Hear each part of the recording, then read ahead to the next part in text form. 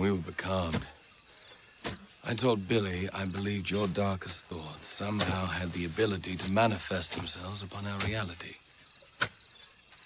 Your anger over the murder of Mrs. Barlow became the storm into which we all battled.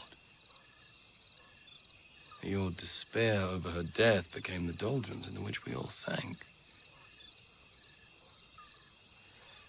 In my defense, I hadn't had anything to eat or drink in a while.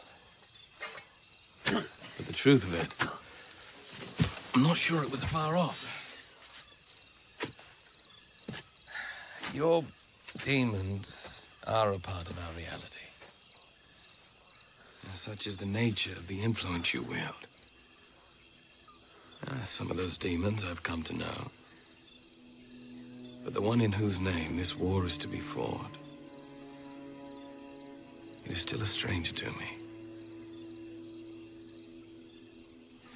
Before this war actually begins, I'm asking where it actually began.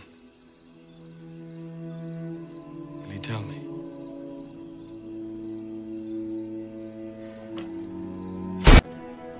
Madness is such a hard thing to define, which makes it such an easy label to affix to one's enemies.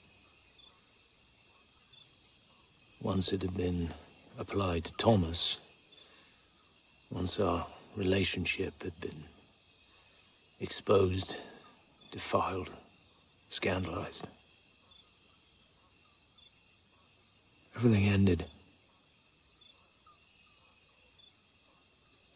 There were times that I was persuaded to sue for peace since then, but that was the day that on some level I knew that England was broken. And that sooner or later a good man must resist it.